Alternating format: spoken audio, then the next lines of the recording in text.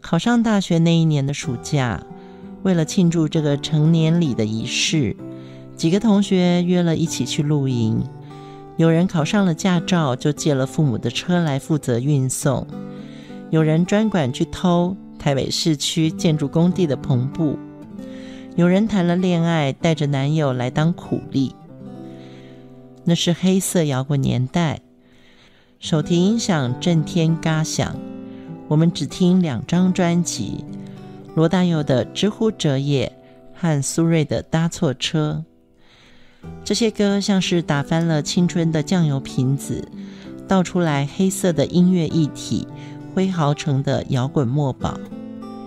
我一直不敢说我多么懂摇滚乐，除了电乐器的嚣张跋扈之外，叛逆的呐喊的声雷呼之乍到。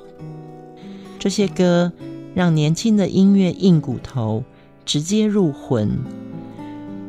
台北是我的家。